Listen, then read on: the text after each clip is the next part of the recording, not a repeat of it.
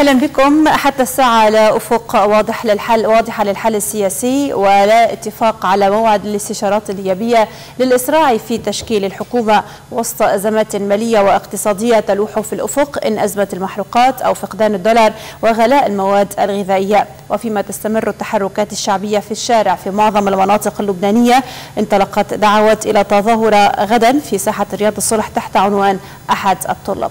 سنتابع فترة ما بعد الظهر ما يجري اليوم في الشارع والاتصالات السياسية الحاصلة مع عدد من الضيوف وأبدأ مع ضيفي الباحث والكاتب السياسي دكتور عمران زهوي. أهلا وسهلا فيك أهلا دكتور. فيك. يعني لماذا برأيك هل هذا التأخير بموضوع الاستشارات النيابية مر أول أسبوع ونحن اليوم على أبواب الأسبوع الثاني حتى الساعة؟ ما في دعوة إلى استشارات نيابية؟ وحتى الاتصالات اللي عم بتصير عم بتكون اتصالات آه، خجولة إذا فينا نقول مقارنة مع الواقع السياسي وضغط الشارع. إذا بدنا نبلش بال- بالاستشارات النيابية، أولاً بالدستور ما في شيء بيلزم رئيس الجمهورية بمدة زمنية معينة لحتى يجري ال- الاستشارات النيابية الملزمة. لذلك اللي عم يشتغلوا رئيس الجمهورية عم بيحاول يحكي مع كل الكتل السياسية الموجودة اللي مؤلفة منها الحكومة ومجلس النيابة لحتى يوصلوا لتصور ممكن لحتى ساعتها يصير في تكليف لا يبلشوا بتشكيل الحكومة. بس السؤال اللي بيطرح نفسه بدنا بلشنا من هون. كيف ستكون الحكومة؟ من سيرأس الحكومة؟ هون هي أسئلة جدا مهمة طيب نحن كنا عم نحكي بالبلد عم ينحكى بحكومة تكنوقراط وأنا طبعا ضد هي نظرية تكنوقراط لأنه بالبلد ما في عنا تكنوقراط في عنا صحيح عنا نحن أخصائيين ولكن آه كله تقريبا عنده جهة سياسية تابع إلى إلى إلى ما هنالك، طيب حكومة تكنوقراط من وين إجت؟ إجت حكومة تكنوقراط طبعا هذا بطلب خارجي بطلب دولي أنه يفترض حكومة تكنوقراط لحتى يم العهد يكون برا حتى قوى الممانعة يعني أو قوى المقاومة حزب الله يكون برات هذه الحكومة. هون طبعا في مئة ألف علامة استفهام هل سيتم ذلك أم لا؟ مين راح يقبل؟ هذه أول شيء أول حكم مش حكم. الطرح الثاني ألا وهو إنه نحن نروح يروحوا يشكلوا العهد مع حزب الله حركة أبل والقوى يشكلوا هن حكومه طيب هون وين بنصير؟ بنصير نحن كل المجتمع الدولي راح يصير ضدنا. يعني بنرجع مثل قصة غزة.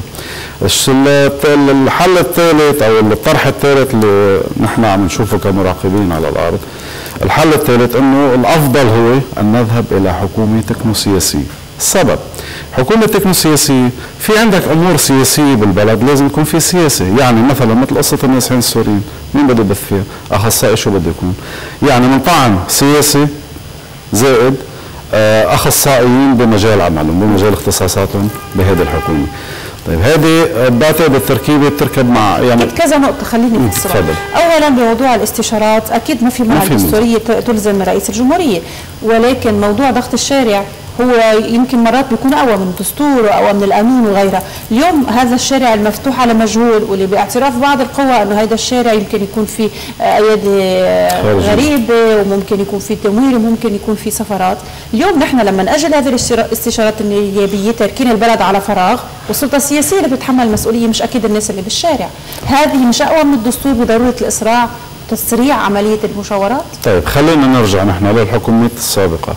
قديش أكلت وقت لثلاث تشكلت الحكومات؟ في آخر حكومة 8 أشهر. إذا نحن هل البلد بيتحمل بعد نحن نقعد شهرين أو ثلاثة؟ أكيد البلد ما حيحمل لا. ما حيحمل طيب ضغط الشارع أكيد عامل مساعد ماشي لحتى تتشكل الحكومة بأسرع وقت ممكن. وإذا هذه السلطة لم تعي أن ما يطلبه الحراك هو مطالب محقة. طبعا نحن عم نحكي هون فينا نقسم الحراك بس لمرة هيدي فينا نقسم الحراك لكذا شغل. في ناس طبعا آه، مطالبها محقة ونزلت من وجعها ونحن من الناس اللي نزلنا من وجعنا. وعندنا مطالب ضد لأنه انعدام الثقة بين المواطن وهذه السلطة صار صار وقت طويل وهلا انفجر.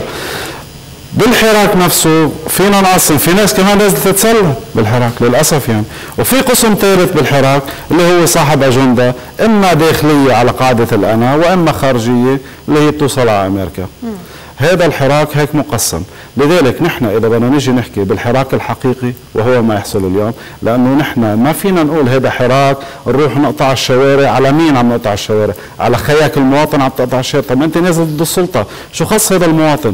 مستشفيات ما فيها أدوية. وسائل ضغط مشروعه على رأسي. مزبوط والقوانين العالمية. ماشي. أنا رح سلم معك انه إنه هذا وسيلة مشروعة. طيب هذا المواطن المياوم كيف بده يأكل؟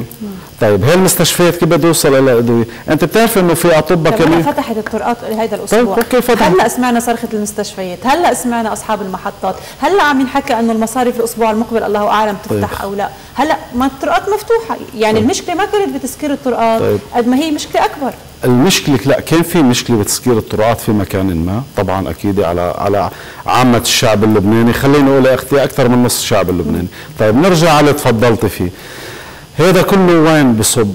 هذا كله بصب على تسريع تشكيل حكومه ماشي؟ لكن خارج العهد وخارج حزب الله.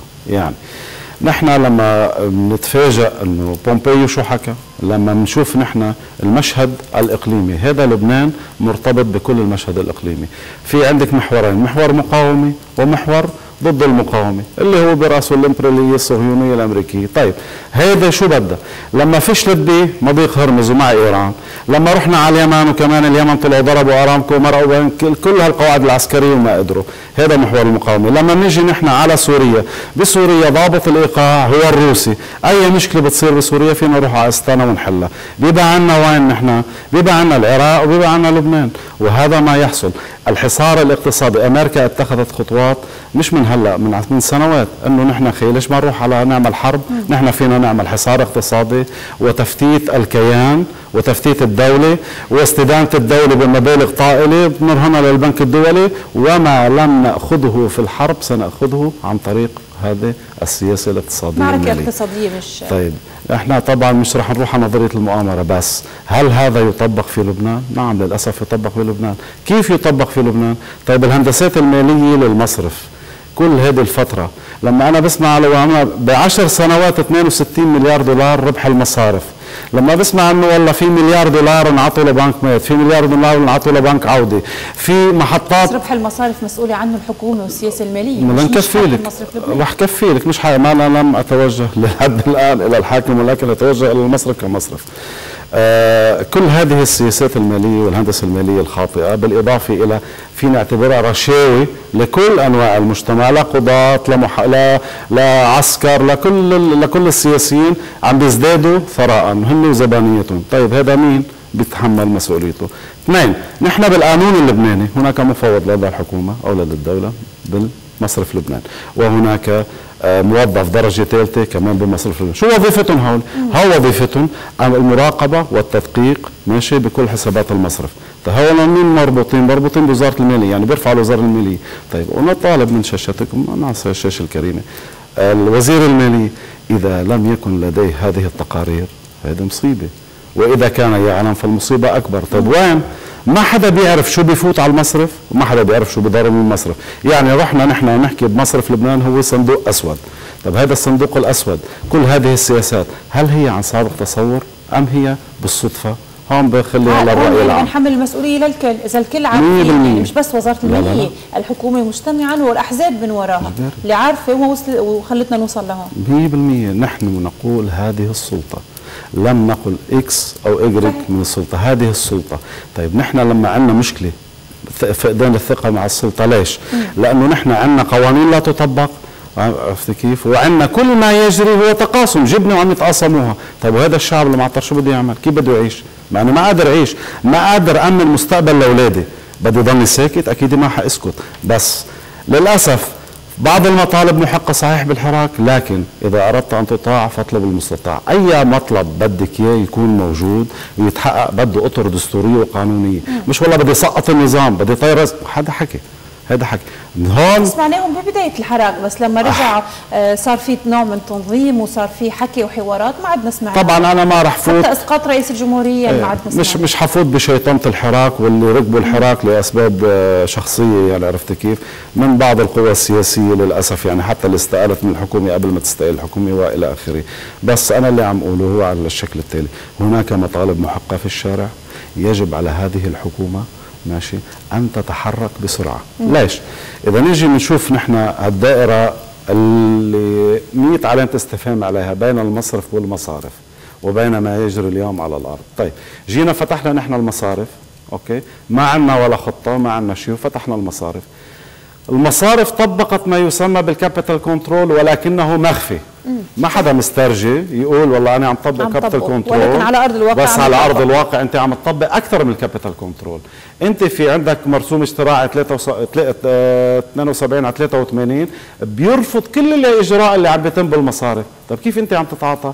أنا فاتح حساب بدي آخذ من حسابي ممنوع تأخذ إلا 1000 أو 3 بالجمعة أو 10 بالشهر.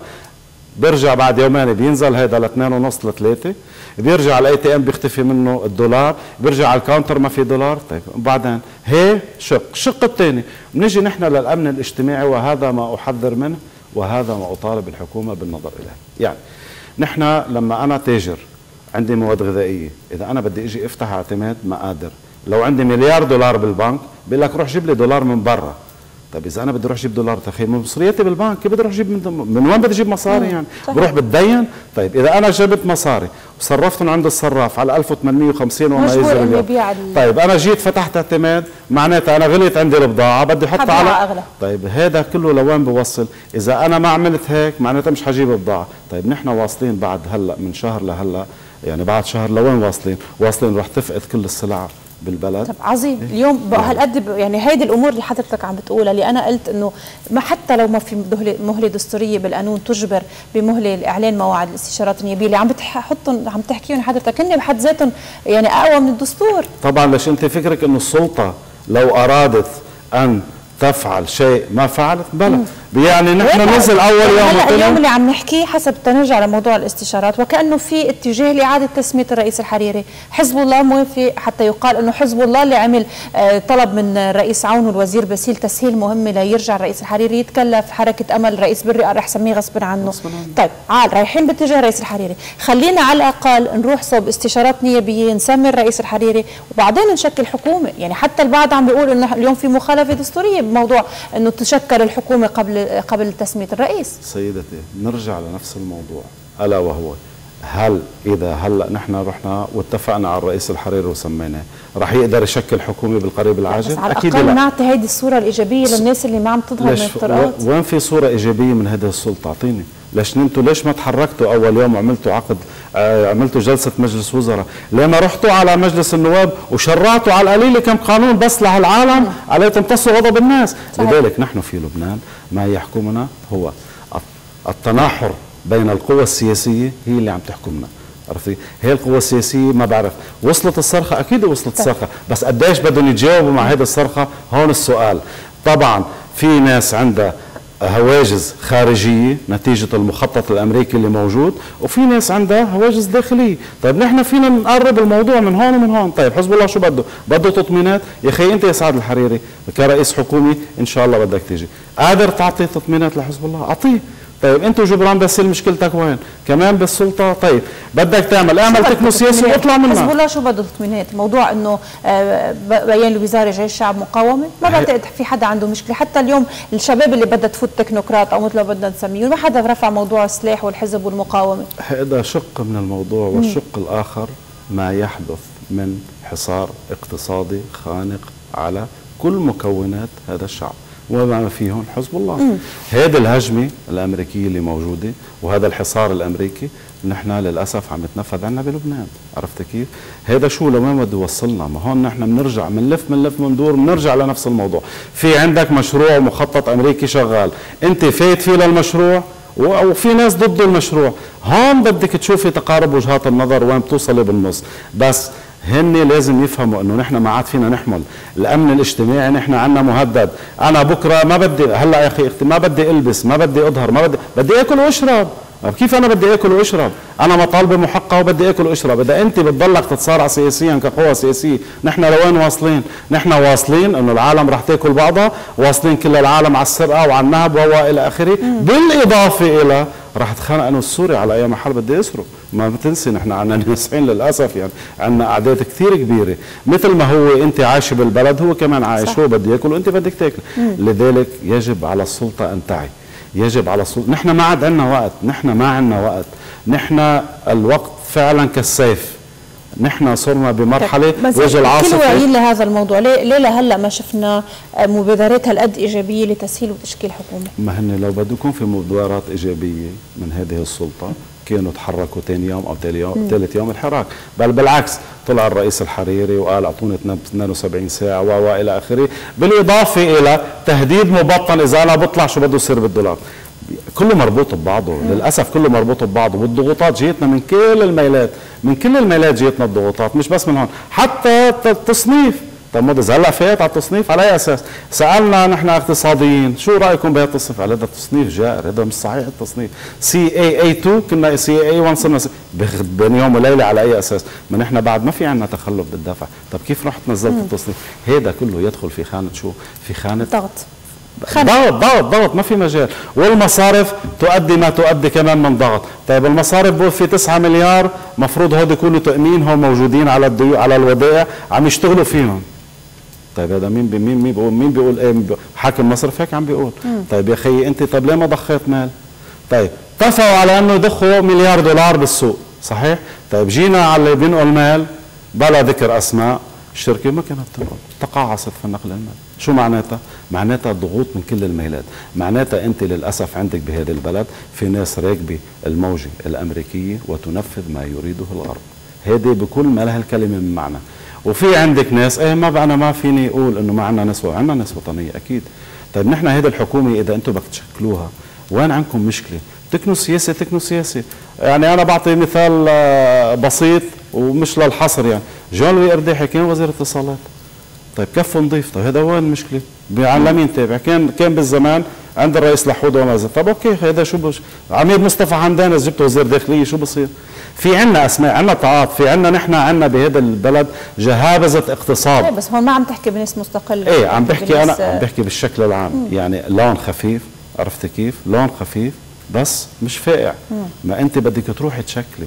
طيب نحن إذا بنبقى نحن بعد شهر.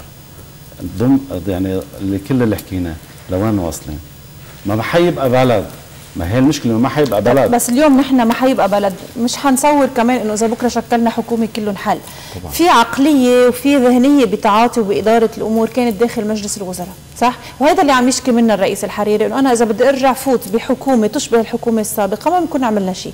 طب لما نحكي نحن بتكنو سياسي أو كله سياسي هذه القوى اللي موجودة جوا بالحكومة اللي فايتة حتى تضمن مصالحها إن كان مصالح خارجية وجودها أو غيرها رح تكون هالقد سهلة بالتعاطي رح نرجع على نفس المشكل داخل مجلس الوزراء على نفس التعاطي على تأخير ملفات على آه، بعكسك لتعكسني وما حيصير شيء ولا حي... الأمور البلد تمشي. لذلك هذه الحكومة يجب أن تشكل على أجندة معينة في وفترة زمنية محددة لحتى يصير في مرحلة انتقالية. من أهم الإصلاحات اللي لازم تشتغل فيها الحكومة نحن عم نحكي شو استرداد مال منهوب طيب واحد اثنين الحصانة السرية المصرفية هذا كله لازم يكون موجود بالحكم. بالإضافة إلى وهو خشبة الخلاص لهذا البلد ولهذا المواطن ولهذه السلطة. نحن يجب تغيير السلطة. كيف بنغير السلطة؟ بنروح نعمل قانون انتخاب لبنان دائرة واحدة مع النسبية. في ناس عم تحكي خارج القيد الطائفي هون بصير بنضرب المناصفة بين المسيحي والمسلم. نحن نرفض ذلك. لذلك نحن بنروح على قانون انتخاب. لبنان دائرة واحدة مع النسبية بتشكلي مجلس النواب من مجلس النواب بتشكل الحكومة والحكومة كمان رئيس رئاسة الجمهورية. لذلك التكنوقراط ما بيزبط بهذا البلد. انتخابات نيابية مبكرة مش مقبولة من الكل. نحن لما بتجي حكومة وهذه الأجندة هي على رأس أولويات هذه الحكومة يجب أن ينص... لازم لازم الكل ينصاع على هذا الموضوع. ما في عندك شارع هذه الفكرة قبل حيقبلوا إنه يكون هذه الحكومة من أجندتها إجراء انتخابات قبل وقتها؟ يفترض نحن إذا بدنا نشتغل صح بدنا نواكب. ويفترض نحن إذا بدنا نشتغل صح نروح على الأمن الاقتصادي والمالي. هلأ أول شيء هذه أول خطوة لازم تنعمل لأنه البلد على شفير الهاوية. عرفت كيف؟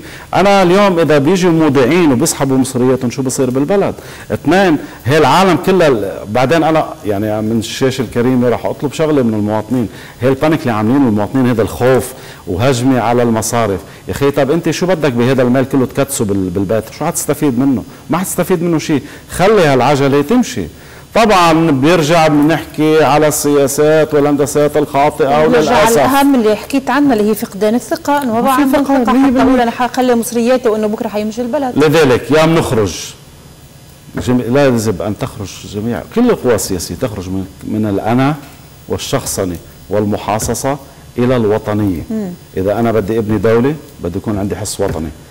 إذا أنا ما بدي ابني دولة وبدي ضلني على قاعدة المحاصصة رح يبقى هيك وبس الشارع لوين بوصل. ما حي ما حينزل ساحات خلي خلي السلطة تعرف ما حتنزل رح ينزل كل الشعب. مع النازحين رح تنزل رح تخرب الدنيا. فنحن ما عم نخوف بس نحن بنقول اليوم ليه عم نروح دائما على هيدا السيناريوهات؟ كثير عم بيشبه الوضع الحالي باللي صار قبل ال 75 وقت ظهرت كمان مظاهرات من الكل كل الفئات الشعبية وكل الطبقات وكل المهن. كثير عم بس المهن عم بيصير في هيدا التشبيه. يعني عم نخوف الناس وكأنه هيدي الناس اللي بالشارع هي أخذتنا على حرب. الناس اللي بالشارع مش أخذتنا على حرب. هلأ نوعا ما الحراك توجه والبوصلة صارت أصح من م. الأول. صح أصحاب الأجندات هلأ صاروا عم عم بيشوفوا عن دورة حصتهم بالسلطة وباقي ما تبقى فعلا قدر قدرنا نحن نلجأ. هذا الحراك بالأول في كان ناس هدفها مؤامرات نحن قسمناهم تراجعت؟ هول الناس تراجعوا؟ ما هول الناس ما تراجعوا، المال اللي صرف في لبنان على هذا الحراك يعني طبعا أصحاب الأجندات ما فيني أشمل الحراك كله طبيعي لأنه مثل ما قسمناه في طبعا نحن الاكثريه شرفاء وحقوق والحقوق اللي بدهم إياها والمطالب هي محقة، لا بس المال اللي عم ينصرف وانصرف على هذا الحراك بالأدلة وبالأرقام و و إلى آخره والساحات الممولة معروفة صارت عرفت كيف؟ هذا شو؟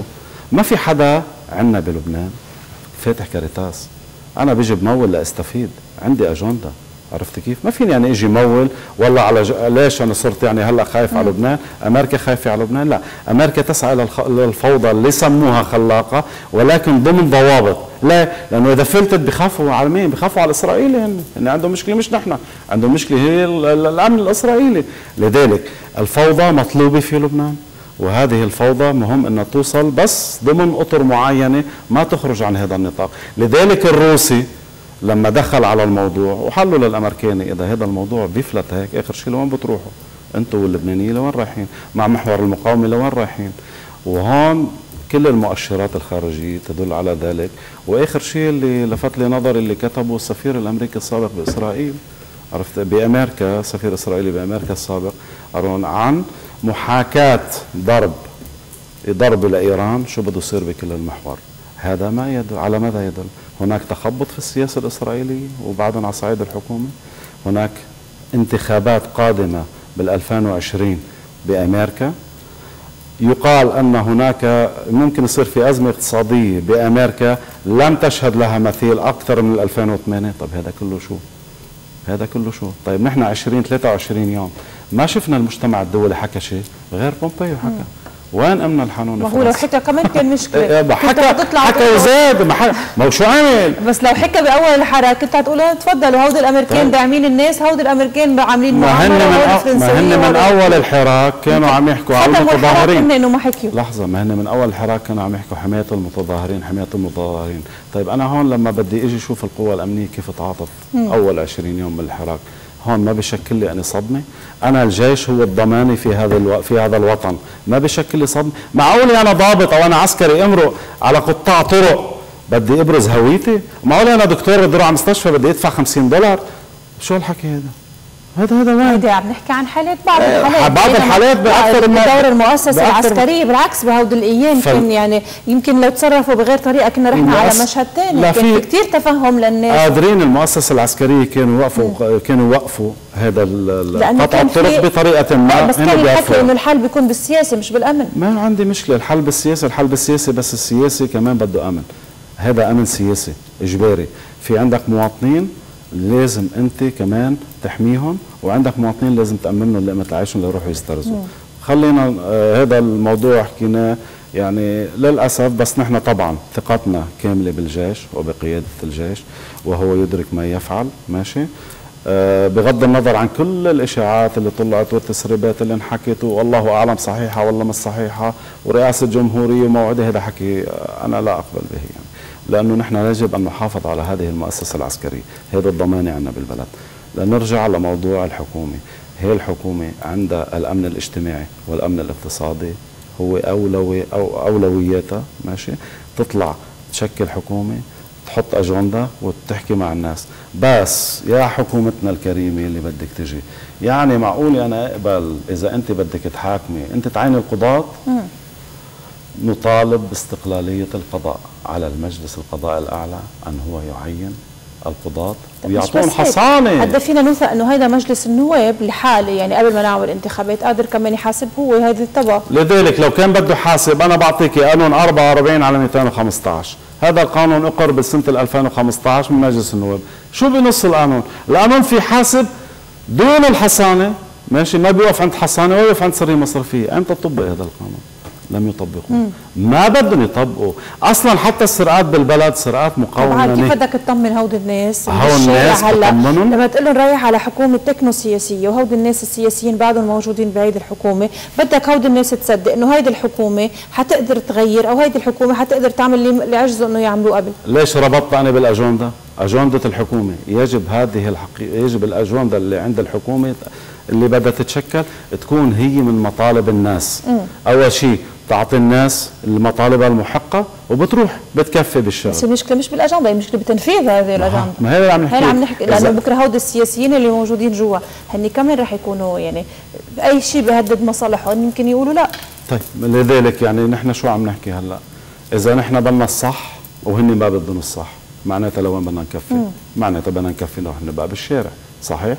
لذلك ما بعتقد انه في بعد حدا بالسلطه أو قوى سياسية لم تعي أن صرخة الناس فعلا عالية ومدوية والناس والشعب استفاق وسينزل إلى الشارع متى؟ أراد. لأنه هاي العالم لازم تفهم. هذا البلد لوين ماخذينه نحن على شفير الهاوية. طيب نحن عندنا نفط. وين النفط؟ اليوم مشكورة الوزيرة وأخذت الإعلام وفرجت إنه نحن بلشنا. مم. طيب نحن بلشنا في شغل. هذا الشغل وين كان؟ طيب عال نحن هلأ لقدام ايمتى بعدين التضارب بين التوتال والحكومة اللبنانية ما حدا فهمانه صحيح. التوتال بيحكوا شيء الحكومة اللبنانية بيحكوا شيء. يعني حسنا فعل الرئيس بري عندما دعا يوم الثلاثاء إلى جلسة. هي أول خطوة ايجابيه إقرار بعض يعني رجعنا على صمام الأمان بس هلأ بعد حتى عم نحكي عن يعني مثلا قانون العفو. الثلاثة رح يكون هو نجم الجلسة ولهلأ عم بقول إنه هذا القانون كمان في نوع من التفخيخات آه. يعني هيدا اللي عم أقول لك إنه اليوم هودي الناس ما بقى فتحت قانون فتحت قانون العفو بس خلينا نمرق بقصة قانون العفو يجب الانتباه إلى شغلة أساسية بقانون العفو ألا وهي الجرائم المالية أين هي من قانون العفو؟ مم. إذا صار في هذه الجرائم المالية دخلت بقانون العفو معناتها عم نقول للوزراء. والنواب وكل اللي سارقين مع الاحترام. كلهم معناتها رح ينعفى عنهم. العالم بدها تنتبه نحن لوين رايحين؟ يا نحن رح نكفي بمنظومة الفساد القائمة منذ 92 إلى اليوم منذ 30 سنة إلى اليوم. يا نحن بدنا نروح فعلا إلى بناء دولة. نحن بدنا نروح لبناء دولة ولا لا؟ والإعلام الله يعطيهم العافية يعني. أداروا الحراك بحرفية. يعني الحراك كان مثل السمك اللي بقلب بحر معتم. ونقطة الضوء هن الإعلام. هن كانوا عم بيحركوا. هن ما واكبوا هن كانوا عم بيحركوا. ماشي؟ نحن نزلنا ودائما كنا نطلب من القنوات الفضائية بس هن كانوا عم الناس تنزل على راسي لا أنا بقول لك إيه لتحديد الأوقات مم. أكيد كانوا يلعبوا دور كثير فيه. وبالإضافة إلى بعض التصريحات والهواء اللي كان مفتوح. كنا نقول لهم تفضلوا على مصرف لبنان نحن عاملين مظاهرة امام مصرف رجعوا لبنان. رجعوا راحوا بعدين راحوا إمتى بيروحوا وقت اللي ما بيكون في حدا. مم. ماشي خمس دقائق وبفلوا. بتقولي لي راحوا. طلبنا أكثر من مرة مواكبة إعلامية من بعض القنوات ماشي اللي عليها 100 علامة استفهام نتيجة مم. هذا الوضع ونتيجة 30 و 35 مليون دولار اللي اتاخذوا من البنك المركزي بصفر فايدة ماشي. تفضلوا واكبوا ما واكبوا. طيب نطلب من الإعلام أن يعي إلى أين؟ ذهب. هذا الإعلام إما بيكون عامل مساعد في بناء هذه الدولة ويعمل بحرفية وتقنية وإما هو صاحب أجندة. أنا ما عندي تفسير تاني. أنا كمواطن ما عندي تفسير تاني. بس هذا الإعلام اللي نزل بس فتح هوا للناس طيب حلو يعني كثير الهوا للناس مش هيك؟ وهي الناس اللي عبرت هي الناس اللي تجمعت هي الناس اللي عم بتقول هيدا الأحد بدنا ننزل هون هيدا السبت. يعني بالنهايه عم بيكون مهمته مش دائما محملها للإعلام. مش مهمته نحملها للإعلام بس مش مهمتي أنا كإعلامي بدون مهنية. لما أنا بتجي أنت بتحكي ضد اللي أنا بدي إياه بسكتك واللي بدك إياه تسمعيه وتسمعيه للعالم بتطلعيه معلش حتى هي المنصات اللي عملوها مش معيبه مين بيقبل؟ مين بيقبل ببيته؟ ماشي. مين بيقبل؟ نحن أصحاب ثقافة ونحن أصحاب حضارة. بنطلع من سبسب شو هالحكي هذا؟ من هو؟ هذا هذا وين صار؟ هذا ما بصير نحن. نحن نحن ناس مش هذا هو. نحن صرنا علكي بلسان بلسان كل الشعوب اللي حوالينا. إنه شو هو هذا الحراك هيك؟ مم. لا حبيبي. هذا المنصة مفروض تطلع عليها مثقفين مصرفيين اقتصاديين محللين يفهموا الناس. مش تطلع تسب وتشتم وآخر شيء بتفتح الهواء أنت وبكل بيت صار صارت الأغاني بالبيوت الأطفال عم تسمعها. بالإضافة إلى أنا على حد هلأ ما بفهم حتى هذا الحراك الطلابي يعني شو اسمه؟ هذا ل 13 14 15 سنة شو بده فهمه بالسياسة؟ معلش خاطب الناس على قد عقولها معلش. بس هذا أكيد الاهم منه إنه هودي اللي عمرهم 13 و14 و15 نازلين على الشارع ما بدهم ولا حزب. ما بدهم ولا سياسة وما بدهم ولا حدا. يعني نحن في جيل تربى هلا تربى وخلق هو بحب هيدا الفريق وبحب هيدا لأنه هيدا الفريق حامي حقوقي بالطائفه لأنه هيدا فريق آه بأمن لي حقوقي اليوم هيدا الجيل عمره 13 و14 سنة عم يطلع بيفهم إنه كلهم ما بدنا إياهم. كلهم مش هن بيحمونا الدولة بتحمينا اللي نحن بنبنيها أنا بحترم إنك أنت مقتنعه بهذا الحكي. ماشي؟ وأنا ما عندي مشكلة. بس أنت كنت بالمدرسة. لما يكون يوم عطلة شو كان يصير؟ كنا ننبسط. وهذا ما يحصل. هم مبسوطين ما في مدرسة. هذا اللي انت 18 سنة بتقول له ممنوع تنتخب بس بيدفع ضريبة. عظيم. 13 14 15 شباب 18 نزلوا ليعبروا عن رأيهم لما الطبقة السياسية منعتهم ينتخبوا. سيدتي الكريمة 13 14 15 ما بيعرف بالسياسة معلش. ما بدنا نوجه. واحد اثنين. بس هيدا عم يسمع كل يوم امه وبيو شو عم امه وبيو عم يسمعوا كل يوم امهم قد إيه عم عم يتعبوا ليقدروا يعلموها. هودي حاسسهم لما يطلب شيء وما قادر اهله تفضلي يا وزارة التربية. حطي تربية مدنية وثقفي هذا الطالب واعملي له حس وطني. وين هي التربية المدنية عنا بالمدارس؟ شو عم نعلمهم نحن بالمدارس؟ تاريخ من 1900 وخشبة شو بدنا نستفيد منه نحن؟ أعطيني هلأ ما أنت اللي قادر من البيت إلى المدرسة إلى المجتمع. هون بتبني وطنية. هون بتعمل حس وطني لهذا الطالب. مش تنزله على الشارع وهو ما عنده حس وطني. هي الثقافة يجب أن تكون من وين بتبلش؟ من البيت إلى المدرسة. المدرسة أهم شيء. نحن نطالب وزارة التربية. نحن نازل ضد ناس هو بحملهم مسؤولية وضعه وضعه ومستقبل. حبيبتي نزلوا هن من من تلقاء نفسهم الطلاب. ما أستاذ عم بنزلهم. معلش دائما في هيدي نظريه المؤامرة حدث العاقل بما لا يليق الا قلف العقل يا قلبي نحن ما عم نحكي مش عم نحكي نحن غيبيات. نحن عم نحكي شيء واقع. ما إذا أنت جيتي ما هذا محملينه هذا أوكي ماشي هو بده يغير. أنا معه إنه هو بده يغير. ونحن بدنا نغير. ونحن هذا النظام فاسد ما بدنا إياه. بس هذا كمان عنده يجب أن يحصن. يحصن وين؟ بتحصن بالمدرسة. مم. هذا يجب أن يحصل علم طيب إذا طار طارت السنة الدراسية مين اللي بيستفيد؟ ما حدا بيستفيد. عال بس الطابع اليوم مش عند الطلاب طابع عند عند يتفضلوا يعملوا حكومة. الطابع عند الحكومة والطابع عند كمان مدراء المدارس. معلش. بالطابة كمان عند مدراء طيب فتحت الطرقات إحنا لازم يكون في عندنا مدارس يعني. عرفت كيف؟ لازم كله يشتغل لازم كله طيب يرجع. الجامعات كمان ممنوع ننزل هو الوحيدين اللي قادرين يعبروا عن رأيهم. بس بنرجع لنفس السيرك اللي عايشين فيها. إنه كمان بالجامعات كمان أحزاب. يعني الذين بالجامعات كل واحد بينتمي لحزب. رجعنا لنفس الشيء اللي هن بمجلس النواب رجع نفس الشيء اللي هن بالحكومة. للأسف هذا البلد هي تركيبته. وهما هن اللي عملوا هيك. نحن أول يومين ثلاثة أول أربع أيام بالضبط. ما فعله اللبنانيون من هذه اللوحة الجميلة الذي عبرت كل الطوائف وكل الأحزاب.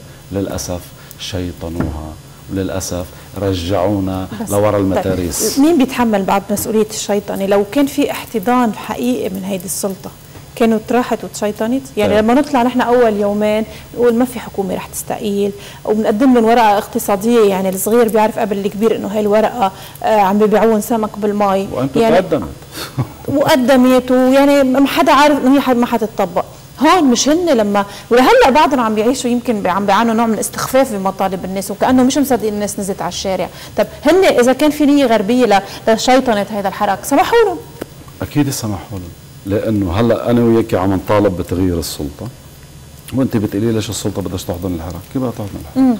أنا بقوم ضد بيي لا بس لو قالوا مطالبكم محققة وتفضلوا شو بدكم وبد... وهلأ بيقولوا لهم تفضلوا آه، تعالوا نكون شريك نحن وياكم هذا اللي حكيناه إنه لو هذه السلطة أرادت لفعلت. حتى قبل الاستقالة خي ليش بدك تروح على استقاله ما دام كلهم معك وماشيين معك ومتفقين. لأنه خلص ما بقى حدا مصدق هول الناس دكتور. إيه ما حدا رح يصدق. بيصدق إنه الحكومة اللي كانت ممكن هي تكمل بعد أربع سنين أنا عم بحكي قبل الاستقالة إنه لو بدهم يعملوا شيء ويستوعبوا الناس ماشي ويمتصوا غضب الشارع كانوا راحوا عملوا شيء بس انه ما بدهم يعملوا. بس ما كان في شيء حيخلي الناس تصدق. وما وما حيعملوا. هلا عم لك الناس ما بقت تصدق. مثل ما انت هلا عم تقول ما حيعملوا. أنا ما مصدقهم. وأنا ما مصدقتهم والناس آه إمتى بصير في ثقة مع هي الحكومة أو مع هي السلطة؟ لما بتبلش تاخذ مطالبي أنا وبتبلش تعمل لها شو قوانين وتقرب بمجلس النواب ساعتها أنا بصدق. أنا ما بقول فول لسد مكيول هذا مستحيل مع هي السلطة الحاكمة اليوم لا ثقة. لا ثقة لا ثقة حتى إثبات العكس. أنا ما حصدق حدا. ما بدك أنت خيي عال في أطر قانونية ودستورية شرف مش نحن تعلمنا هيك. تفضل شرف سن قانون. نزلوا على المجلس النيابي يا خي طلعوا نزلوا على المجلس النيابي قروا. بس تقروا ساعتها بقول أنا إيه مزبوط. بلشنا نستعيد الثقة بهذه الحكومة. إيه بس ما حضرتك أعطيت أمثلة في قوانين موجودة بس ما ما بدهم. ما هي شو عم ما بدهم. شو عم لذلك الأفضل إنه حكومة انتقالية ضمن أجندة معينة تراعي وتحاكي مطالب الشارع ماشي؟ بالإضافة إلى قانون انتخابي لبنان دائرة واحدة مع النسبية لحتى نرجع انتخابات نيابية مبكر لحتى مم. نرجع نعيد كل حيقبلوا معهم بانتخابات نيابيه مبكره هن ما يقبلوا. ونحن يعني كمان ما بنقبل. من هي السلطة الأقوى؟ نحن الشعب السلطة الأقوى. نحن اللي بنجيبهم مش هن بيجيبونا نحن اللي قادرين بس هيدا المجلس النيابي بعده كلهم أحزاب. إذا بقول لك ما بدنا نروح نقر قانون انتخاب جديد وما بدنا نروح نقر قانون بتقصير ولاية هذا المجلس ما فينا نروح على انتخابات نيابية مزبوط. بس من سيحاكمها؟ سيحاكمهم الشعب. أي قوة اي لا جميع القوى السياسية أي قوى سياسية. ما بدها تمشي مع مطالب الشعب وما بدها نحن نستعيد فعلا الثقة وما بدها نحن نمشي ببناء دولة. خلينا نتحاكم. خلينا إلى وين بدهم التاريخ راح راح ينصفهم وين راح يصيروا؟ لا الشعب راح ينصفهم ولا التاريخ راح ينصفهم عرفت كيف؟ صحيح. لذلك نرجع نعيد نفس الكلمة. يا نطلع من الأنا والحصص وبنذهب إلى فعلا هذا بناء وطن. يليق بنا ونليق به. نحن هذا الوطن. أنا اليوم عم حارب كرمال مين؟ كرمالي أنا ما عم حارب كرمال اولادي. كرمال الأجيال الجايه كرمال الأجيال الجايه وكذا انت الأجيال الجايه بدك تربيها نفس التربية. شو عملنا؟ لذلك برجع بعد لك يعني. من البيت المدرسة المجتمع. هو هذا السيرك لازم يضل موجود. هذا نحن لازم نشتغل عليه. نحن أين دور المثقفين؟ بعدين يا عمي معلش مع احترامي للجميع وكلهم كلهم أفضل مني. بصير الواحد عمره ب 80 سنة وبعده بالسياسة و90 سنة بعده بالسياسة ولا طيب يا وين الشباب؟ انظروا إلى تونس وما يجري في تونس إنه مثال يحتضى به بكل الدول العربية، رئيس جمهورية استلم بس وظيفته إنه يمهد الطريق لتسليم الشباب السلطة، هذا شو؟ مم. طلعوا فيه عملوا ثورة الجماعة وشوفوا وين وصلنا. شرك كل شرائح المجتمع كل شرائح المجتمع بتونس عم بيشاركها بيعملوا بكل منطقة بيطلعوا نايب هني وبيرفعوا لمجلس النواب. عم بيشارك الكل حتى العاطلين عن العمل. خاطب الشباب ولم يخاطب أحد آخر لذلك نجح وفاز بالانتخابات. طيب نحن وين دور الشباب؟ معلش إيه وراثة سياسية وراثة سياسية بس هيك وراثة سياسية يعني بيكون الجد بيجي البي بيجي الابن و لا خيي شو بدك تضلكم راكبين على أي أساس؟ على أي أساس؟ معلش إيه نحن عندنا نخب. لك يا عمي دول العالم تيجي بتاخذ من لبنان بتاخذ نخب بتاخذ نخب بتاخذ اقتصاديين بتاخذ ناس ماليين. نحن اللبناني وين ما كان مبدع ليش نحن بلدنا هيك؟ لا ما أنتم اللي وصلتونا لهون. أنتم ما بدكم حدا يفهم وما بدكم حدا يكون عارف ويطلع يحكي. طب ليه؟ لا لا والناس بقت كمان ساكتة كثير تتحمل جزء كبير من المسؤولية اللي خلتنا نوصل لهلا وهلا يعني عم تقول لي هيدا الشباب اليوم بس معناهم شو قالوا؟ قالوا نحن عم نقوم عم نشتغل هلا وعم ننزل على الشارع لأنه أهلنا ما نزلوا وأهلنا وصلونا لهون. كمان بيتحملوا مسؤولية. لما هن كانوا آه يقسوا أو ما بعرف شو السبب وين الوعي؟ رجعنا لهون. وين الوعي؟ ما في وعي. رجعنا لوين؟ للإعلام. كانوا يلعبوا دغري على الخرائز. لا حتى طبقه رجعنا لوين؟ لا لا طبقه سياسيه 100% هذا نحن أمر مفروغ منه ما عادش بالسياسيين. رجعنا لوين؟ على التربية المدنية على المدارس وعلى الإعلام. طيب نحن لما بنحط برامج سخيفة على الإعلام. أنت شو عم توصل هدف وين التربية؟ وين الثقافة؟ وين الوعي الثقافي عند هذا البني آدم اللي أنت عم تحكي عجيل بدك تربيه؟ لا نحن نحن منا هيك مش هذا المجتمع اللبناني. نحن منا ولا بنقبل نكون يعني قد حكيوا هيدا جيل التليفونات وال iPad؟ على راسي. انه لا آه، مش هيك إيه ما هذا بنرجع للموضوع أول ما بلشنا بقصة محور المقاومة والمحور الآخر. أمريكا عندها شيء اسمه كنا بالجيل الرابع للحروب صرنا بالجيل الخامس للحروب اللي هو ال social media هو. وهذا ما أثبت إنه أول ما بلش الحراك 60 70% من ال social media إجينا من الذباب الالكتروني من السعودية. مثل ما اجى على العراق نفس الشيء. هن دايرين اللعبه بال social media وبالإعلام. هي هلأ أهم خطوة وأهم حرب هي الحرب الإعلامية. لأنه أنت متلقي متلقي متلقي. هن عارفين كيف يفوتوا عليك. بالإضافة إلى المطالب والإضافة إلى الشعارات الرنانه اللي بتحاكي داخلك. إيه مزبوط. أنا هذا المطلب آه صحيح مزبوط. أنا هذا بدي إياه. هن بينطلقوا من هون وبيركبوا الحراك. والامريكان كيف بيشتغلوا؟ بفتتوا بدينوا أو إذا صار في حراكه بيركبوه وعندهم أجندة بيشتغلوها. وللأسف نحن إيه شعب متلقي لأنه غير محصنين غير محصنين. وهذا ما حصل في الشارع. بدل ما يعمل منصات للمسخرة والسبسبة بيعمل منصات يطلع عليها إعلاميين ومثقفين. اول يومين ثلاثة أربعة دكتور بعدين. خلص إيه بس بعدين لما ما هي دائما بصير في لما يصير أي انتفاضة شعبية كل الناس بتنزل وكل الطبقات الاجتماعية والفكرية والثقافية وبالتالي هيدا الشارع بده يحمل الكل طيب سؤالي بيطرح نفسه بتضلك تقولي لي إنه بتش... بتقولوا سفارات و طيب. مين جاب صوتيات؟ مين مول؟ مين عمل؟ في كثير؟ يعني مبادرة كانت مبادرات فردية كل حدا قادر في يعمل كثير شيء. مبادرات فردية بس هذا المبادر الفردي اللي نازل جوعان مش قادر يشتري هولي. معلش احترمونا شوي. ما قادر يشتري هولي. بالإضافة مين قال إنه كل اللي نزلوا بس جوعانين؟ لا لا لا. قال إنه بس اللي بالشارع هن الفقراء. خليني في أوصلك كثير ناس في معها كثير مصاري مؤسسات في كثير مؤسسات. لبنان المؤسسات اللبنانية أصحابها ضخوا مال مش طبيعي بالحراك. هذا ليش ليه عم يضخ مال؟ هذا كاريتاس هذا منه كاريتاس لا بس هو المؤسسات مش هن أكثر ناس انضرروا من هذه الطبقه تضرروا. الاقتصاديه لا هن ما تضرروا لانهم مشاركين ما حدا متضرر هو كله مشارك ما بدنا نحكي أسماء عشان خلينا نوصل لحلول منطقية ونطمن الشارع إنه مطالبكم محققه ونحن معكم ونحن من الشارع. وخلينا نضل نحن ضاغطين على الحكومة لحتى فعلا تاخذ بهذه المطالب ونروح على بلد. خلينا نروح على بلد. خلينا نطلع من هذه المواضيع كلها خلينا نروح على بلد. للأسف نحن في لبنان والله نحن إذا ما عندنا هذا الأمن الاجتماعي وإذا هذا المصارف ومصرف لبنان بالذات اللي عملها 100 علامة إستفهام إذا ما تداركوا الوضع نحن رايحين على كارثة نحن فعلا رايحين على كارثة يعني على أنا بنصح اللبنانية بحسب متابعتي للموضوع كله. إذا بنبقى هيك في مثل عندنا بالجنوب بيقول إذا عندك حكورة روح زرعها. روح يزرعه لأنه ممكن بكرة يصير معك مال بس ما تلاقي شيء تشتري فيه. بدكش تاكله؟ بدك تاكل ما بدنا نخوف. ما الناس. عملنا ما بدي خوف بس الناس أصلا عايشة هذا هول يومين خوف مش طبيعي. هذا الهلع هذا الخوف يجب أن يكون لدى السلطة وليس لدى الناس. هذا لازم يكون عند السلطة هذا هن لازم يتحركوا هن لازم يتحركوا. الناس. قوموا روحوا اتحركوا روحوا خلي كل واحد يستلم مسؤوليته يتحمل مسؤوليته. ما في واحد يقول لي أنا وقفت وبطلت. لا حبيبي أنت ما بطلت. أنت موجود. أنت بدك تتحاكم وبدك تتحاسب إذا بطلت.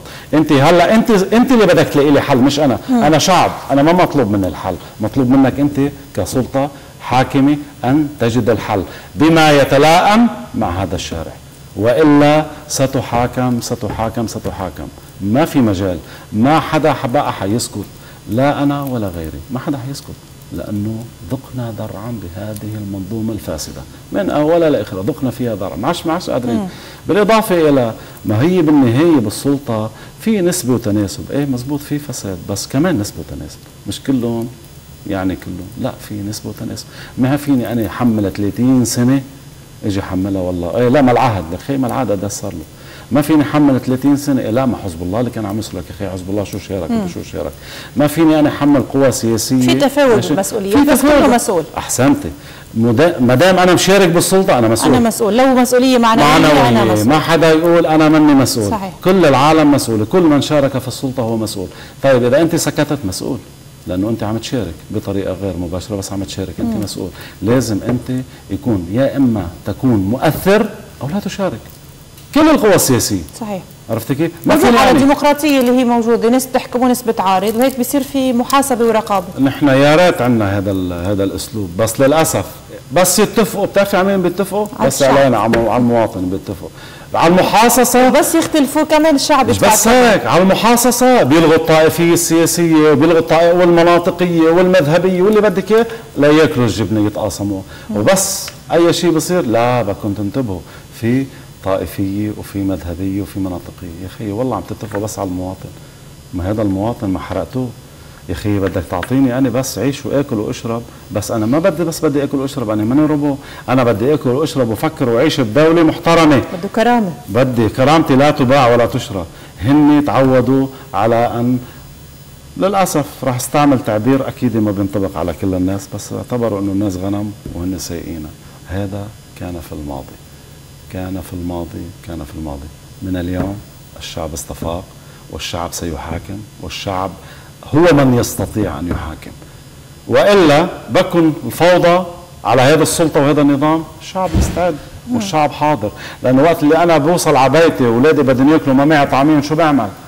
شو صحيح. بدي أعمل؟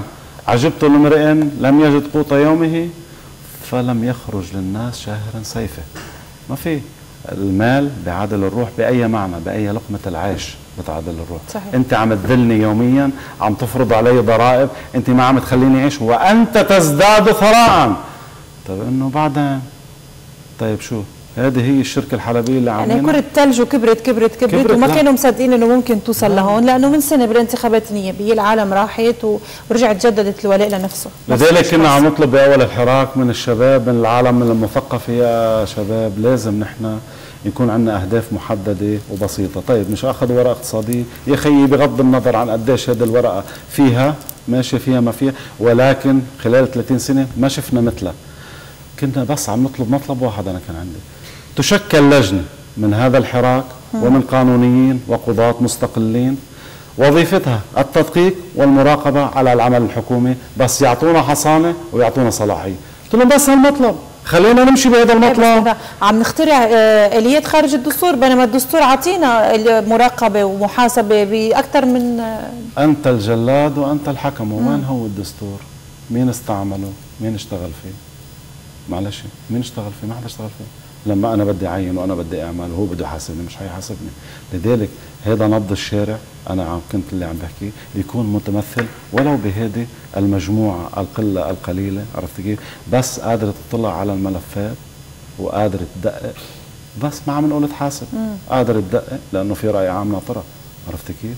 إيه كان بس يعطونا حصانة كمان مش بكره يحطونا أكيد، بالحبوسه يعني. عرفت كيف؟ صحيح. فنحن عندنا 100 حل بهذا البلد دكتور امبارح كان في كلام للشيخ نعيم قاسم على موضوع التحرك الشعبي، البعض اعتبر إنه في تقدم اليوم بموقف حزب الله بالموضوع. مقارنة مع أول مرة طلع السيد نصر الله وحكي وقال لهم إنه ما تعذبوا قلبكم وتنزلوا على الشارع والحكومة ما راح تسقط وأعطونا وقت لنصلح وغيره وغيره، اليوم لا في كلام الشيخ نعيم قاسم عم بيقول نحن جزء من هذا الشعب الذي يعاني، نؤمن بهذا الحراك نشجع عليه. وعم بيقولوا للناس ما تطلعوا أصلا من إيه الشارع. بس آه، تفضلت وقلت السيد حسن قال لا لا, لا ما قال هيك. معلش السيد ما قال هيك السيد حسن قال المطالب محقة ونحن بس قال ما في حكومه بس تستقيل بس- وما رح نعمل انتخابات بس خليني مبكره يكفيلك بس. قال في في مطالب محقة ماشي؟ وفي ناس أكيد بهذا الحراك هن محقين ونحن نستمد من الحراك هذه القوة لكي نحاسب ونغير في هذه الدولة. طيب ما كان على أساس في اتفاقية مع الرئيس الحكومي سعد الحريري أن لا استقالة للحكومة، هذا كان الاتفاقيه ورجعت صار في استقالة. طيب شيء. هلا يعني أنا لست هنا لا في مقام إني دافع عن حزب الله أو أحكي حزب الله شو بدي. أنا كمراقب سياسي بقول على الشكل التالي. ممكن هناك مؤشرات معينة تلقاها حزب الله ماشي. طمأنته إنه هذا الحراك لن يذهب إلى مكان آخر. يعني أصحاب الأجندات اللي كانوا يعملوا على إنه يصير في حرب داخلية واقتتال داخلي وحرب أهلية هذا الخطر خف أو زال. ماشي. لذلك ليه برأيك خف أو زال؟ يعني إذا كان عنده نية تخريبية. إذا كان عنده نية تخريبية في شيء أساسي اسمه البادجت. قد إيه هالبادجت اللي كان محطوط؟ بقي بعد في منه ولا لا؟ طيب نحن هلأ بنشوف في ساحات بعدها موجودة. يا ترى بصح كانوا عاملين بادجت صغير إذا هيك ما هديهم كم يوم. أنت بتعتقدي هيك؟ هذه كل هالامم هذه هالشعوب. كل هالعالم وكل هالمصر يا عمي أول نقطة مي نزلت معلش يحترمونا. أول نقطة مي نزلت نزل نزل فوق ال 5000 ل 100000 في شيء بيقول 5000 10000 مظله ماشي. وكمان كمان نزل آه، لباس ضد المي هو شو هلا خلقوا يعني؟ دغري هيك بتكي لا أكيد مش بتكي والخيام مش بتكي وغيره والأكل اللي اللي صار ال social media كله ملان. أنت بتعرف إنه اللي لفت لي نظري بهذه الصور إنه في منقوشة ملفوفة بهذا العلم اللبناني. إمتى أنا سألت طلعت الحق الورق أغلى من حق المنقوشة؟ معلش خلينا نحكي نحن شيء يكون كمان منطقي. لذلك أعتقد أن حزب الله لديه بعض المعطيات التي عملت على طمأنة حزب الله من هذا التحرك في الشارع. بالإضافة إلى البوصلة اليوم في الشارع أين؟ في المرافق في بعض المرافق وبعض الأماكن وهذا الصح. قادر شل البلد حكوميا قادر شل البلد حكوميا. هذا كنا نطالب فيه من أول يوم. شلوا البلد حكوميا اترك الشوارع بس روح شل البلد حكوميا. فينا نشلها للبلد حكوميا. وفينا نضلنا ضاغطين عليهم. مزبوط. وهذا الصح. وهذا ما يجري الآن. وهذا أنا معه. وأزال معه ولا أزال. هذا الحراك هو حراك صادق.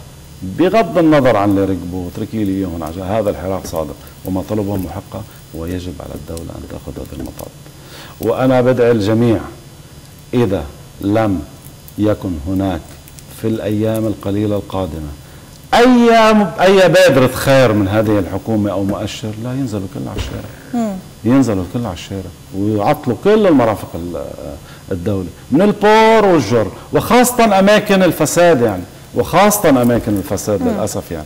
يعني أنا بالنسبة لي عندي عدة أماكن فساد هذه كثير واضحة يعني. ليش البور؟ شو عم بصير فيه؟ ليش مصرف لبنان؟ شو عم بصير فيه؟ طيب في حدا يحكي لنا بهالدولة أثناء الحراك ال special customer اللي هن الزبائن المميزين بمصرف لبنان طلعوا مصاري من البلد ولا لا؟ كيف؟ خلي حدا يقول لنا بس كيف. طلعوا مصاري خلي حدا خلي يطلع شيء مسؤول بمصرف لبنان ويدحض هذا الكلام. ويقول لي أنت اللي سامعه هذا غلط إنه لا في مصاري طلعت من البلد لهول المميزين. ماشي؟ في مصاري طلعت من البلد. بدناش نحكي بعد نرجع نفتح على المصارف. ومين شريك مع مصارف خارجية؟ والجولدن مان ما بدنا. خلينا خلينا خلينا نضلنا على الأرض نحن على الحراك الداخلي مع إنه كله مربوط بالخارج. لذلك عشان نحن ما نضلنا نحكي بنفس الدوامة. هي الدولة هي الحكومة يجب السلطة عفوا يجب أن تأخذ المطالب تروح تشكل حكومة ماشي؟ يفيقوا. مش إنه والله بنطر لبكرة ولا بعد بكرة لا اليوم. امبارح كان لازم يشكلوا مش اليوم كمان يروحوا يشكلوا حكومة تراعي كل مطالب هذا الحراك ماشي؟ ضمن سقف معين زمني وضمن أجندة معينة ويروحوا يقروهم بمجلس النواب ويدعوا الانتخابات مبكرة لكي نعيد بناء هذه الدولة عبر هذه السلطة. حكومة التكنو سياسية رح تضم يعني حنحاول الوجوه اللي بعض استفزت الناس لأنه عم تتكرر ولأنه الناس يمكن تعتبرها هي فاسدة أو لا. هذا موضوع أكيد القضاء بحدده. حنبعد عنها يعني اليوم فينا نقول هذا أول إنجاز تحقق إيه صحيح. بس بعدهم عم بيمروا بنفس الدوامة إنه انت ولا أنا. مم. مين هو اللي فاسد أو مين اللي بيستفز الشارع؟ مرجعنا على يعني بدنا نضلنا نلف وندور بنفس الدوام. إنه خيي الحال هو أصبح على حكومة. وافضل أفضل شخص اللي, اللي بيترأس هذه الحكومة الانتقالية هو سعد الحريري لعدة أسباب.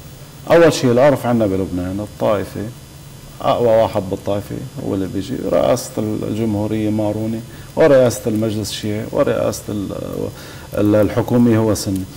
سيبقى اليوم نحن عم نحكي اليوم. سعد الحريري هو الأكثر تمثيلا بالطائفة السنية وأكثرهم اعتدالا وهو الوحيد الذي يستطيع أن يجابه الخارج والمجتمع الدولي وهو أصلا عنصر مطمئن للمجتمع الدولي. مم. طيب هذا عندي أنا قادر مطمئن لحزب الله في الداخل. كمان كمان بس هو ليش راح استقال؟ هون شغلة بترجع له يعني. يعني يمكن الوحيد اللي سمع نبض الشارع بصدق. لأنه لولا كم يوم ما كان في صدق طيب ما هو كان عم يحكي عم يعطيهم للشركاء إنه يعطيهم فرصة. لولا هلا العالم لها 22 يوم وما قدمنا لها شيء لهذه الناس اللي بالشارع. برايك كان بعدنا هالقد سلمية وبعدها الناس هالقد آه، ليش لليوم؟ ظاهر بهالطرق. لليوم شو صار؟ مفشت خلق الناس إنه في ناس سمعت لنا هذه الحكومة نحن ما عندنا ثقة فيها سقطناها. يعني هيدي أبسط شيء وقت تنزل انتفاضة شعبية ثورة حراك مثل ما بدك سميها. شفت إنه يكون في تجاوز وهيدي الناس الوزراء اللي المفروض يكفوا يدوروا لنا الأمور ما بدنا إياهم. نرجع نحن ما عندنا ما عندنا ثقافة. ما عندنا ثقافة. طيب أنا سقطت الحكومة. راح تجي حكومة من المريخ؟ لا بس إذا عم نقول تكنو سياسية عال هيدا إنجاز. إذا عملوها مم. ماشي هذا إنجاز. ليش؟ لأنه غير هيك بتروح على المجلس النيابي بتسقط ما بتنال عرفت كيف؟ وما حدا حيقبل من كل هول الأطراف إنه هو ما يتمثل. ماشي؟ تكنو سياسيه بدهم يروحوا على وين؟ بدهم يروحوا يقروا شيء فعلا ملموس ويروحوا فيه على مجلس النواب. ماشي؟ عم نرجع نحكي نفس الحكي.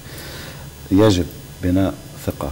ولو يعني بنطلع على الدرج درجة بدها وقت ليرجعوا. درجة درجة. لا طبعا. نحن يعني أنا بقول لكل اللي بال آه لكل اللي بالشارع ولكل الحراك ما فيني أنا بكبسة زر غير كل شيء. طبعا. لازم العالم تفهم. يعني إذا أردت أن تطاع فاطلب المستطاع. مم. يعني يمكن تطلب 100 تحصل على 40 هذا إنجاز. لأنه أنت بحياتك بلبنان ممكن تحصل على واحد هذا إنجاز. الضغط الخارجي بعده عم يضغط كمان. بعده عم يضغط. المؤشرات و... وكل حتى المنفذين الخارجيين. هلا جاي الفرنسي ب 12 الشهر كمان ما نفس الشيء. كله ضغط. ضغط طيب يا خيي شو بدكم أنتم بتعرفوا ضغط بس أصلا في واقع ما فينا ننكره إيه نحن واقع اقتصادي نحن عم على شفير عم نحكي على السياسيين. أنتم بتعرفوا اللعبة. خلصونا منها يا خيي بدكش فلان وبدكش علتين. طلعوا بس أعطيه شو هو اللي بيطلبه ما عادش نحمل تأخير. نحن نحن صرنا آه مش بس بوجه العاصفة. نحن صرنا على حافة الانهيار وحافة الانفجار. شاء من شاء وأمام هلا بتقولي لي عم بتخوف مع بس لازم يفيقوا. نحن لا. نحن ما عادش متحمل. إذا بكرة بتفتح المصارف وبيرجع العالم نفس الشيء دق واصل شو بنكون عملنا؟ مم. طيب يا خيي روحوا اعملوا capital control و haircut إذا كل هالقد أنتم خايفين وما في مصاري وما عارفين شو بدك تتصرفوا روحوا اعملوا هيك. ليش دائما من تحت الطاولة ليش شفهيا. ما أنت عم تطبق ال capital control شاء ما شاء الله ليه صرحنا وقلنا طيب للناس وحده من التنتين يا بتروح أنت بتجيب فعلا هو المصاري اللي موجودة بتروح بتضخها أنت بالسوق وبتفتح للناس تاكل وتشرب وتعيش بطريقة طبيعية. يا أنت قول شو في. لأنه في شيء غلط. في شيء مخفي. في شيء قطبه مخفيه بين المصارف والبنك المركزي. خلينا نشوف شوي. خلينا يطلعوا يحكوا. للأسف وقتنا انتهى. دكتور عمران زهوي أهلا وسهلا فيك. باحث وكاتب سياسي شكرا لوجودك معنا. نحن فاصل قصير ونعود بعدها لمتابعة مع ضيوفي في الاستديو. شكرا لك. شكرا دكتور. مرأة